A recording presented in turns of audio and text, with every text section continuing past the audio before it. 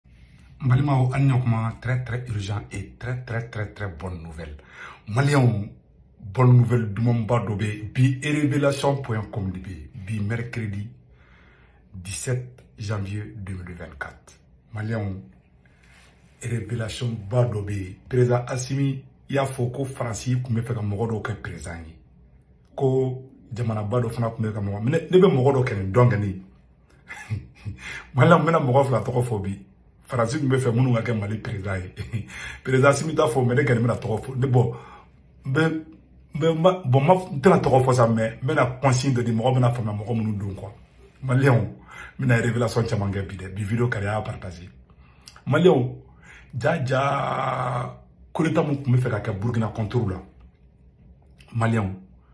ja ja ja ja tubabu jamana bɛɛ de faralen bɛ ɲɔgɔn kan ko fo ka kapitɛni bɔ yen miliyari tan de depasera maliyɛnw an bɛ tila ka don detaw fana na an bɛ ka kuma aw fɛ yɔrɔ min na bi tubabuw ka service n tɛ fɛ k'u foto yira quoi pour ma propre sécurité je préfère ne pas montrer les photos n bɛ ka kuma aw fɛ yɔrɔ min na puissance grande puissance fɛn fɛn bɛ yen k'u bɛ ko ni faransi ye allié ye u 90 pourcent bɛɛ ka service de renseignement u kɛlen bɛ k'u bila u bɛɛ activer bon an ka AES ye menace de ye o ta ma ne ka o de kosɔn ne bɛ fɛ an ka politiquement an ka an ka n yɛrɛ labɛn an ka fara ɲɔgɔn kan i ma ne ka kuma ka ca tile fila in na caman gawa caman t'a faamuya mais minnu kunkolo b'u kan da la parce que ne ɲɛ bɛ ko dɔ natɔ la an b'a ye tentatives bɛ ka caya Burkina e ma an bɛ tila ka don fɛn kɔnɔ maliyɛnw an ka ɛgili mɔgɔw an ka balɔntanaw aa mali balɔntanaw bravo aux aigles du mali mali balɔntanaw ye mali kunnawolo mali balɔntanaw de filɛ ka ka den zoro kɛ bi mais maliyɛnw ni mali ni burukina bɛ eh, fɛn nizɛri bɛ na aw kana an k'an kɔlɔsi dɛ ni mali je m'excuse ni mali ni burukina bɛ na aes kɔnɔna na a maliyɛnw mali gagne na burukina gagne na o c'est l'AES qui gagne donc maliyɛnw an bɛna don ko an ka sɔrɔsiw ye operasɔn belebeleba dɔ de kɛ aa maliyɛnw mali sɔrɔsiw burukina sɔrɔsiw an bɛ tila k'o fana evenement dumanw yira aw la maliyɛnw marifa kuraw de bɛ sira la ka na ni avion kura wɛrɛw ɛ asimi y'an gate sa non asimi y'an gate trop maliyɛnw yanni an ka don video la an ba deli bɛ fɛ bɛɛ ka ni abonné n ka youtube chaîne sanfɛ tɔgɔ de segu tunkara le politologue ni mɔgɔ mɔgɔ bɛ fɛ k'an dɛmɛ a ye na abonné n ka youtube chaîne sanfɛ maliyɛnw n'aw donna n ka youtube chaîne kɔnɔ aw kinibolo yan fan fɛ sɛbɛnni dɔ bɛ na ko s'abonner a b'o digi dɔrɔn y'a abonné ne cloche poto bɛ digi dɔrɔn video tɛ fa kɔ bilen wala an bɛ na sanu an ye ko kuma eh, bamanan ka kuma kuma fɔlen ko kuma fɔlen kɔrɔ tɔ ye dalamaga ye donc sisan wala maliyɛnw perezan asimi ko ko faransi tun ye mɔgɔ saba yira ko kudeta kɛli kudeta kɛ bale n bɛna révélation ba de k'aw ye bi dɛ mali maliyɛnw karamɔgɔ dɔw b'a la dɛ faransi tun bɛ fɛ karamɔgɔ dɔ faransi tun bɛ fɛ karamɔgɔ dɔ ka kɛ a ka président n bɛ ka tiɲɛ de fɔ a la walayi karamɔgɔ dɔw b'a la n bɛna tila ka don détail la bon ne ma mɔgɔ tɔgɔ fɔ kɛ depi kelen de n'a taara mɔgɔ foto ta k'o don n ka video la karamɔgɔ dɔw tun b'a la asimi ninnu kɛlen ka kudeta kɛ maliyɛn bɛna yɛlɛko de fɔ a ɲɛna dɛ n bɛ ka kuma fana bi mercredi 17 janvier 2024 asimi ninnu kɛlen ka kudeta kɛ mali politisiyɛn dɔ bɛ yen n tɛna tɔgɔ fɔ ghana ambassadɛr dɔw wele ghana perezan de ye o wele parce que o tigi mali politisiyɛn dɔ a kun ko ka di ghana perezan ye ghana perezan de mali politisiyɛn dɔ wele sisan ko a mago b'a la k'a ɲininka ko a ah, ko i komi e ni sɔrɔsiw ka di ko e yɛrɛ bolo ko jɔn bɛ se ka kɛ perezan ye ko mɛ ko asimi tɛ k'a de ko sedaw ko ko asimi tɛ k'a ko fɔ mɔgɔ dɔ ka sɔrɔsi o politisiyɛn tun bɛ telefɔni na o ni gana perezan tun bɛ ka kuma gana anbasadi kɔnɔna na alimami dɔ de tugura o kɔ kuwa ne tɛ ne ma mɔgɔ tɔgɔ fɔ kɛ dɛ an ka mali alimami dɔ kɔni don a tugura o politisiyɛn ko ka taa gana ambasadi la mɛtana sisan nɔ gana perezan ye ɲininkali kɛ ko jɔn bɛ kɛ perezan ye karamɔgɔ cɛ in de sera ka telefɔni minɛ k'ale yɛrɛ bɛ fɛ ko ka kɛ perezan ye gana perezan ma kuma an b'o fana la politisiyɛn dɔ bɛ yen nɔ mali politisiyɛn dɔ bɛ yen nɔ n tɛ fɛ ka tɔgɔ fɔ maliyɛn bɛɛ b'a dɔn mɛ n bɛ mɔgɔ kelen ka nin tɔgɔ fɔ tiɲɛ yɛrɛ la bube bube mayiga n ka nin b'o tɔgɔ fɔ u ye perezan suwasiw fɔ bube tɛ implike de n tɛ dugawu la dɔw fana bolilen bɛ olu ka mɔgɔ dɔ fana kun b'a la perezan sibi y'a fɔ cogo min na a ka ca ni mɔgɔ walayi mɔgɔ min suwasira ko ka kɛ mali perezan ye faransi ni jamanaba dɔ ani seereyaw n'i y'a bɛɛ fara ɲɔgɔn kan saba plus a bɛ a bɛ sɔn ka taa mɔgɔ wolonwula ubiyɛn mɔgɔ seegin na ne kɛni bɛ mɔgɔ naani kɛni dɔn mɔgɔ naani ne b'olu dɔn olu bɛɛ tun bɛ fɛ ka kɛ mali perezan ye perezansi bɛ kuma fɔ tiɲɛ de don dɛ ne b'a kalama mɛ kɔmi perezan yɛrɛ y'i da maga la bɔn ne tun tɛ se ka bɔ n'a kuma ye parce que sɛgɛrɛ de don parce que ne tun b'a affaire in kalama o mɛ ne bɛ mun kɛ ni mɔgɔ min t'a confirmer aw ye mɔgɔ naani n b'olu dɔn mɛ n tɛ fɛ ka mɔgɔ fila tɔgɔ fɔ fɔlɔ mɛ n bɛ mɔgɔ fila mɔgɔ fila kɛ ni n b'olu taamasere de n bɛ mɔgɔ kelen kɛ n tɔgɔ fɔ bube ye tɛ impliqué mɛ bube tɛ impliqué indirectement pas ko bube yɛrɛ bɛ ka choisi ka kɛ président ye dɛ bube de tun ka kɛ président ye ni bandaw tun ye asimi ninnu bo ye parce que ko ko in tun ye fila de n bɛ fɛ maliyɛnw ka dɔn ko fɔlɔfɔlɔ la i bɛ ka kɛnɛ ka bɔ yen o tun bɛ fɛ mali karamɔgɔ dɔ tun bɛ fɛ ka kɛ président de ye sedaw tun bɛ ɲininkali la wagati na mali karamɔgɔ dɔ taara k'ale bɛ fɛ ka kɛ président ye mali karamɔgɔ dɔ taara fɔ gana ambassadeur ɲɛna e, e, taara don gana ambassade kɔnɔ k'a fɔ gana président na k'ale yɛrɛ de bɛ fɛ k'u ka kɛ mali président ye ko gana président ka kan ale ale appuye CEDEAO la quoi bon n t'a dɔn ni CEDEAO kun kun b'ale de ma mɛ en tout cas ale fana tun ye candidat ye mali karamɔgɔ dɔ n y'a fɔ an na o ne ye karamɔgɔ karamɔgɔ kelen dɔrɔn n ma mɔgɔ fana tɔgɔ fɔ depuis kelen n'a taara mɔgɔ min foto bila o y'a kun koyi mali karamɔgɔ dɔ tun bɛ fanga nɔfɛ malheureusement a si ma ɲɛnabɔ bon a laban kɛra bandaw ye bon bandaw fana nalen u ye o ye o y'a ye k'u b'a dabiri sɔrɔsi ninnu da la kuwa u tun bɛ fɛ u tun bɛ fɛ san bandaw tun ka k'u kɛ ka asimi ni sɔrɔsi tɔw degage ka bɔ yen ka sɔrɔ ka bube de kɛ mali perezan ye nin b'o kalama a politisiyɛn ninnu o de kosɔn ne tɛ politisiyɛn ninnu fɛ an m'a ye tile fila na ne ka kuma ka ca n'u ye tentative fila de kɛ sɔrɔsiw kɔntoro la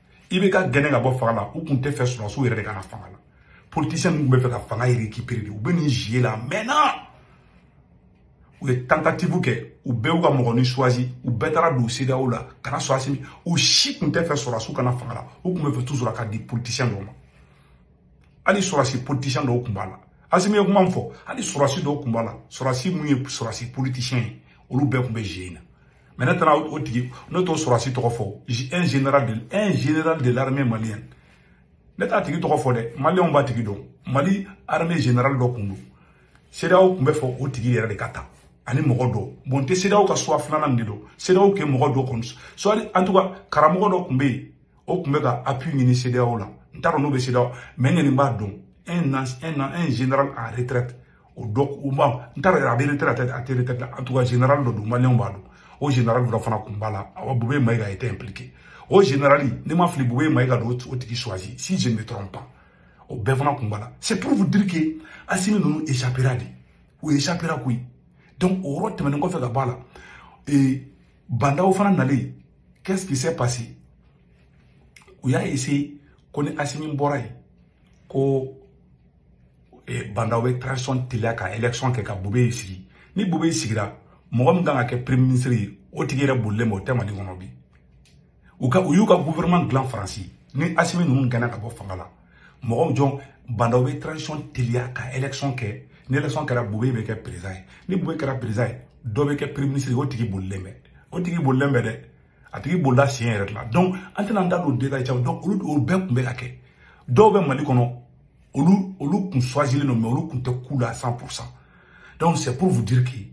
mali asimi ninnu b'i n'a fɔ sogosu waraba bɛ yan fɛ e surugu bɛ yan fɛ duga bɛ sanfɛ voilà pourquoi ne ka pression ka ca asimi ninnu ka tile fila in na n'a y'a remarquer parce que sɔrɔdasi ninnu u bɛ ka bin politiciens ka piège de kɔnɔ sɔrɔdasi ninnu kan ka mun de kɛ bi u kan k'u u dɛmɛbagaw de labɛn k'u consolider k'u fara ɲɔgɔn kan a bɛɛ ka kɛ force kelen ye n'an m'o kɛ politiciens bɛ ka jeu jumɛn kɛ ni sɔrɔsiw ye jama bɛ ne bolo ne kɛlen bɛ se ka n duguw mobiliser u bɛ jama jama ko de la bon en tant que u bɛ don sɔrɔsi ninnu kunkolo la an tɛ changement tɛ kɛ mali kɔnɔ parce que jamatigi ye politiciens de ye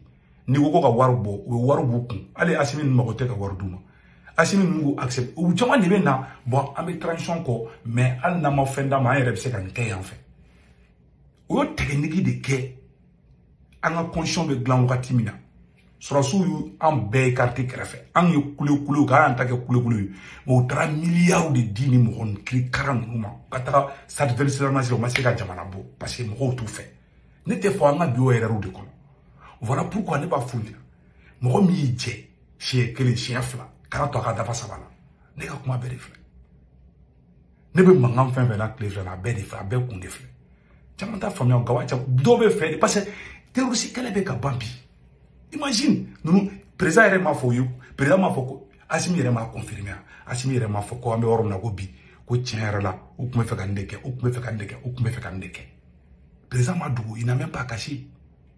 asimi ninnu échappera de hali deuxième coup d'état min kɛra asimi ninnu contre la walayi min kali ala la karamɔgɔ karamɔgɔ dɔ tun b'a la a bɛ asimi ninnu ye u ye mɔgɔ u ye mɔgɔ caman détester à vie u tɛ fɛ hali u ka gɛrɛ u la yɛrɛ de à vie n ko taa division ma dɛ asimi ninnu ye mɔgɔ dɔw asimi u ni mɔgɔ dɔw jɛra mɛ u y'a dɔn olu tun bɛ fɛ k'u ka fanga de dafiri u y'olu détester à vie mɔgɔ o mɔgɔ kelenw fana ka complice dɔw bɛ yen olu bɛ k'i infiltrer an na ne bɛ ka kuma a ka ɲa de fanga in fanga in bɛ na fɔ sogosu de u dabara bɔ u dabara epi an bɛ ka n bɛ ka kuma aw fɛ yɔrɔ min na an ye terrorisi kɛlɛ an bɛ ka don kɔnba kura dɔ de kɔnɔ bi fo maliyɛnw k'o de faamuya on est en train d'entrer dans un combat politique il faut que bɛɛ k'i labɛn politiquement il faut que sɔrɔsiw k'u labɛn politiquement u k'u yɛrɛ dilan politiquement asimi k'a yɛrɛ labɛn maliki jaw k'a yɛrɛ labɛn wage k'a yɛrɛ labɛn moribo kone fana k'a yɛrɛ prepare sadio kamara aw bɛɛ k'aw labɛn aw bɛɛ bɛna politiki de kɛ n'an ye aw bɛɛ kɛ general ni fɛngɛw ye marechaliw ye an bɛ asimi kɛ marechal ye ka kolonɛli mɔgɔ duuru nin bɛɛ kɛ generaliw ye ka sɔrɔ aw b'a labɛn a b'a labɛn politiki a b'a labɛn politiki ma n'a ma politiki kɛ n'a ye fanga in bila ni politisiyɛnw y'a sɔrɔ o bɛ kodaw ka garange mamu da bakolo kan ne bɛ k'aw critiquer c'est pour vos biens parce que aw ma diɲɛ politicien ninnu kɔ hali bi ne ta tɛ mɛsikeneri ye dɛ parce que ne ɲɛ b'a la jusqu'à présent o mɔgɔ kelen ninnu fanga b'olu de la bi il faut vous méfier a kana sɔn ninnu ka fanga sɔrɔ kɛrɛfɛ ni ye n'an ye élection présidentielle kɛ bi président Assimi bɛ kɛ président ye mais il pourra pas il pourra pas diriger le pays o yɛrɛ ka tete la parce que naloma dɔ bɛ réseaux sociaux kan o bɛ wo wa wo la non segu dɔw bɛ fɛ i ka to ka bɔ don o don urgent bonne nouvelle a don ta e bɛ kulela wagati min na ninnu bɛ k'u labɛn politiki ma dugu ma an ma si kɛ n'an fana bɛ fɛ ka politiki de kɛ on veut faire la politique an bɛ kule an bɛ to kule dɔrɔn na réseaux sociaux sanfɛ an bɛ an bɛ kule kɛ ma an bɛ politiki fana kɛ o il faut qu'on nous prépare politiquement transition ka ka mɔgɔ labɛn a ka ka base politikiw dilan parce que politicien ninnu ma diɲɛ fanga kɔ ni élection kɛ bi asimi bɛ sigi mais n'i ko ko ka maire sigiw ni fɛnw kɛ politicien kelen de bɛ na parce que foyi ma labɛn o rien n'est préparé ne ɲɛ b'o bɛɛ la an tɛ ka an ka mɔgɔ an an faralen tɛ ɲɔgɔn kan 100 pour cent kɔ ne ne ka hami y'o dɔrɔn de ne dun b'a dɔn n'an taara a aran disperser a bɛ juguw de arranger ça c'est une pure vérité dɔw bɛ fɛ de ka to dɔw bɛ émotion de kɔnɔ hali bi quoi ne t'olu lamɛn o dɔw bɛ émotion de kɔnɔ an ka bɔ dɔrɔn an ka bɔ dɔrɔn tu ee kidali libɛrila y'a fɛ a bɛ da terroriste kɛlɛ banna koyi an bɛ badisme an bɛ terroriste kɛlɛ nɔgɔyara bi dɛ n bɛ ka kuma aw fɛ yɔrɔ min na terroriste kɛlɛ nɔgɔyara bi donc an bɛ ka don combat politique de kɔnɔ k'a fɔ bɛɛ lajɛlen k'i labɛn tubabu ka service de renseignement baden de bɛ an ka dugu kɔnɔ bi mali mali burkina faso et puis n bɛna kuma kelen fana fɔ a ɲɛna kapitɛni kodika min tun bɛ ka kɛ kapitɛni kɔntoro la tubabu jamana ninnu camanba de kɔnpilisi u ye kɔnpilisi ye kodeta in na tubabu jamana baden de bɛ yen minnu tun ye kɔnpilisi ye hali a dogolen tɛ mɛ alihamudulilayi u ye miliyari tan de fara ɲɔgɔn kan ne tɛ fɛ ka jamana dɔw tɔgɔ fɔ u ye u ye miliyari tan miliyari tan sefa miliyari tan u y'o de fara ɲɔgɔn kan k'o di kudetakɛlaw ma a bɛɛ kɛra esɛki ye bɔn an bɛ yɔrɔ na bi an ye faransi la maloya an bɛ ka as min kere n'o alliance de cetadi sahɛli ye o ye menasi de ye o tan fana ma o tan nu filɛ ni u bɛ se tiɲɛni na ka tɛmɛ ɲali kan an kan ka an kan ka mun de kɛ an kana bɛn parce que an ma hali kɛlɛ daminɛ fɔlɔ tubabu ninnu filɛ u tɛ sɛgɛn u tɛ ɲina u tɛ yafa awa u ta dabila i n'o mɔgɔ mɔdɛli bɛ ɲɔgɔn na i hakili to i yɛrɛ la dɛ mali fangaw hakili to aw yɛrɛ la moi j'ai fait des critiques constructives ɛnzikaw tɛ ne ka position faamuya parce que ne ɲɛ b'a la bi politiquement mɔgɔkɔrɔ ninnu de bɛ ka fanga sɔrɔ bi ka tɛmɛ minnu bɛ mali fɛ ça c'est pas bon pour le pouvoir ni aw ma kɔlɔsi u bɛ atete ta ɲɔgɔn na sikaw la ne bɛ ka tiɲɛ de fɔ yan na n'an ma kɔlɔsi u ye att nɛgɛ nɛgɛ tan de ye u b'u yɛrɛ ma jiga u ye parce que aw ye sɔrɔsiw ye parce que ne ne maîtrise ka gɛlɛn dɔɔnin quoi parce que sɔrɔsi digilen bɛ commandement na politicien ninnu b'u da dugu ma aw bɛ yɛlɛ u kan aw b'aw fasaninw da b'a fɔ a nin de b'an fɛ segu tunkara ninnu t'an fɛ segu tunkara maîtrise ka gɛlɛn a segu tunkara ka kuma ka ca segu tunkara b'an critiquer aw ne b'aw critiquer dɛ n'a critiquer kun de k'a fɔ ko ne ye kukaw ye ne tɛna ko jaw ye fo ka diɲɛ wuli parce que n'a y'a kɛ n'a ma ɲa ne b'a fɔ a ma ɲa ça c'est clair hadamaden n'a ko k'aw kulolajɛ kuma de ka fɔ a la vous allez travailler avec des escrocs dans ces pays là et ces escrocs vont vous créer des problèmes ne ka kuma bɛ filɛ ne b'aw critiquer dɛ hali mali la ne y'aw critiquer hali ne bɔ hali ne bɔlen gendarmerie la aw ye mɔgɔw minɛ ne ye video kɛ n ko awa n bɛ mali kɔnɔ j'ai été clair comme l'eau de roche hali ni ne bila libarani kɔnɔ n'i yira mun man ɲi ne b'a fɔ n k'a man ɲi c'est clair comme l'eau de roche n'aw ko k'a tɛ fɛ o de ka kɛ aw ni patriotisme tɛ baara kɛ mali kɔnɔ vous allez vous retrouver avec des traîtres des escrocs mes chers militaires o ye ne ka kuma bannen ye ala ka barika don fanga in na il faut il faut accepter les vrais patriotes Il y a des hommes, il y a des gens intègres ou tɛ sɔn ko dɔw ma f'a ka mɔgɔw faamuya n'o de n'a ko ko fo bɛɛ de ka k'aw sago ye aw ni mɔgɔ ɲɛnama tɛ baara kɛ ɲɔgɔn fɛ koyi ne b'o f'a ɲɛna bi aw ni ɛnzikaw ni ɛsikorow ni namuw bɛ ɲɔgɔn ta parce que aw yɛrɛ ka transition yɛrɛ kɔnɔ mɔgɔ dɔw bɛ ka taa mɔgɔ kɔrɔ dɔw ta ka na n'o ye wa aw ye saba n'a mɛ conscience u bɛ ka na ni mɔgɔ minnu ye mɔgɔ ɲɛnamaw tɛ mais kana hadamaden kulodiya kuma bɛɛ kuma minnu bɛɛ bɛ f'i kulo kɔrɔ a bɛɛ tɛ ɲuman y'i ma ne b'a fɔ bɛɛ b'a dɔn ne b'a fɔ a bɛ bɔ ne kɔnɔ de n'a ma ɲi ne b'a fɔ n k'a ma ɲi ne ma je ne cache pas je ne mâche pas mes mots awa ne tɛ mɔgɔ fasa da ne tɛ guitare ta ka mɔgɔ fasa da ne b'i dɛmɛ sur la base de la vérité de tiɲɛ fɔra dun maga gobi n'i ye tiɲɛ fɔ bi bobo bobo ta ka jɔsi la n'an ma bɔ kadiri kɔnɔ an tɛ mali kɔrɔ jɔ n'a ko k'a fɔ aw ka kulo kulajɛ kumaw de lamɛn aw bɛ taga tuwa faransɛw kan faransɛw ka espion caman sɔrɔ aw kɛrɛfɛ parce que nafigi esokoro faso cila du cila o b'a majigi de e ma ni zo bɛ fɛ k'i suɲɛ a b'a majigi ye